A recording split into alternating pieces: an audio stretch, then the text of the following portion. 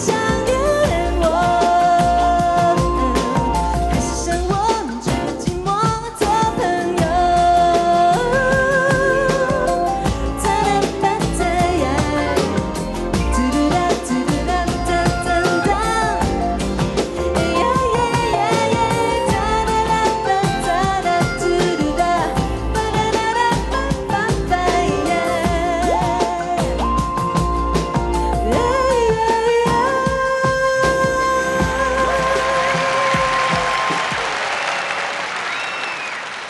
我们一直在说天水的历史，那接下来我们聊聊天水的现在。好啊西部大开发，天水在发展经济的同时呢，也提出了建设文化城市的目标。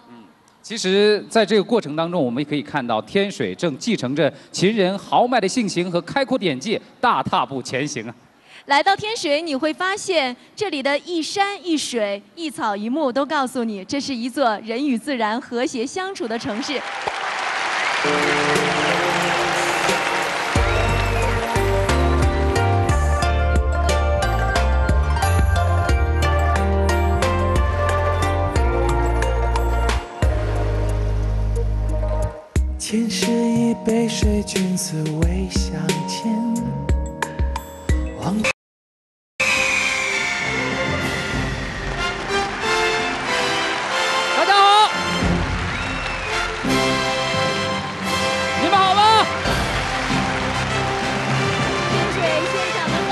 们，电视机前的观众朋友们，全球的华人同胞们，世界各地的朋友们，大家晚上好。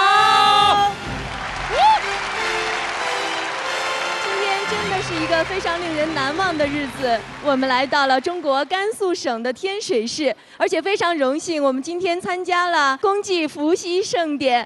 那伏羲呢，在我们中国古代传说当中呢，一直位居三皇五帝之首，而且被我们后代尊为是中华文明的人文始祖。啊、大家都知道啊，伏羲呢就诞生在我们中国的历史文化名城天水。那么，这位英雄的氏族领袖，他一生的丰功伟绩可以说是数不胜数。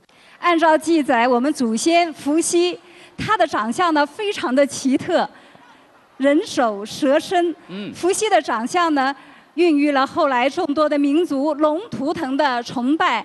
所以我们都叫我们自己是龙的传人嘛。那今天呢，我们来到天水公祭伏羲，其实就是祭拜我们祖先的开创精神。当然，我们今天来到天水呢，也希望能够吸取这块福地更多的灵气。所以啊，我们就组织了这么一台晚会。今天就让我们用一首一首好听的歌送出我们的祝福，好不好？好，马上我们要掌声有请的就是作曲家、歌手郭峰。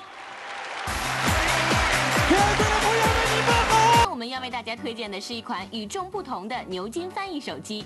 先来介绍一下我身边的这位来自名人科技的董事副总经理。